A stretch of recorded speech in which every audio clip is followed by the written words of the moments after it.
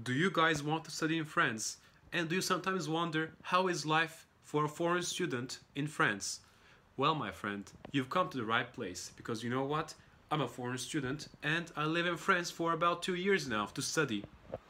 And I know I have three big advantages compared to other foreign students in here because I'm trilingual.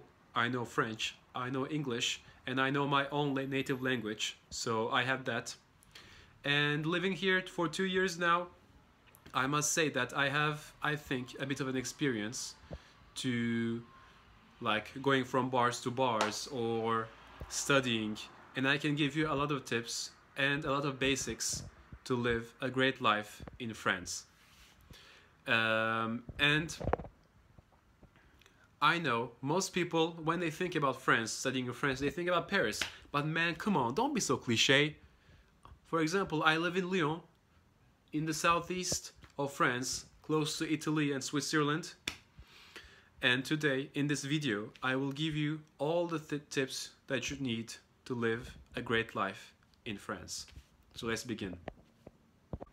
So let's begin by addressing the big elephant in the room. In this case, the student's worst nightmare is, of course, money. And I can safely say that if you come from a, from a first world country like, I don't know, USA or Canada or um, from Western Europe, like United Kingdom or Spain, I think you'll be alright. But in my case, I come from a place where the economy is bad right now, so I'm trying to hang on. And in terms of houses, there's a lot, and I mean a lot of student residences where you can stay. They are strictly for students and they begin from I think 250 euros to uh, like the best ones 800 euros. And the middle like in, in my case 550 euros. I think it's manageable compared to other countries. And I think the best part about France about studying in France is how the education is literally almost free like when you go to the United States or Canada, okay, there, the best education almost is is there, but you have to sell your kidneys and your head and your everything to get an education there. But here it is virtually free. Trust me. And I also would like to add that living here in France, especially in Lyon, is not very expensive. Like I live, for example, uh, with 150 euros a week without counting the rent. And I will admit that it's a bit much for a student, but I know a lot of people that live with 50 or 20 euros a week. Uh, you have to eat a lot of spaghettis and stuff, but in terms of transportation, I think Lyon is very well infrastructured. Uh, and by that I mean, for example, you can take the tramways, and after that you can take the metros. There's also buses that goes literally everywhere. And you you have to have a uh, red card which is this one which is in my pockets. I forgot. Which is this. And by paying a monthly subscription to this manually you can ride everything from metros to tramways to buses everything you want. And if you don't want to pay a monthly subscription you can also pay with a little card uh, which can buy uh, for one euro and 80 cents I think uh, for just one hour. And we can't have a student discussion without mentioning all the fun. And by that I mean the, the clubs and the bars which Lyon has plenty of it for example, in terms of clubs, you can go, uh, you can see uh, the events that that is happening um, in Facebook groups like Erasmus parties in Lyon, for example, because everyone knows that the best events are prepared by Erasmus students. And in my opinion, the best nightclubs are Le Petit Salon and Sucre, which is sugar in English, FYI. and there's also a lot of cheaper options like Loft or Boston. What I mean is there's a lot of options to go, ranging from bars to nightclubs.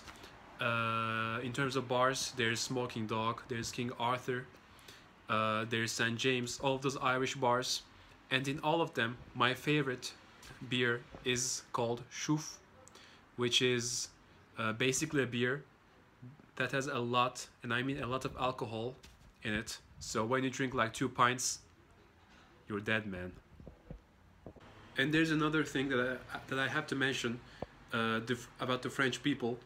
The French are very nice. They are very welcoming, generous, and all of these all of these things. But there's a little problem in them.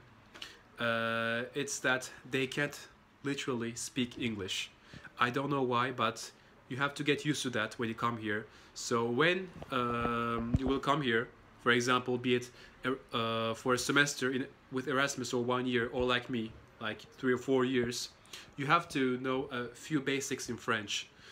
Uh, but uh, believe me, you'll be all right because I have a lot of friends that came from different countries from around the world, be it Bolivia, Brazil, or um, Turkey, or Bulgaria. They all had a few little uh, basics in French, but now they can speak like me. So just beware of that.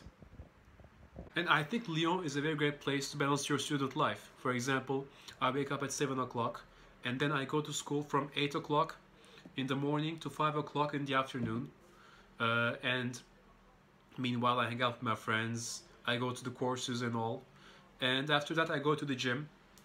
Uh, then I come back to my house, I prepare my own food, and if you want, I can do a separate video about student cuisine where I can teach you how to cook protein-based foods for people who go to the gym. So don't forget that. Um, and then you can come after you eat. You can study or you can watch TV series as long as you want. And guys, I think that I've covered everything, all of the basics and tips that you needed to know about living in Lyon or anywhere in France for that matter because I have many friends in all of the great major cities in France like Paris, Bordeaux, Grenoble, um, Strasbourg, Nantes. Um, and you can ask me any questions that you want in the comment section below and I will answer them immediately. You'll see. Um, and I think if you want, I will do another in-depth video about uh, living in France in the future. So until then, bye.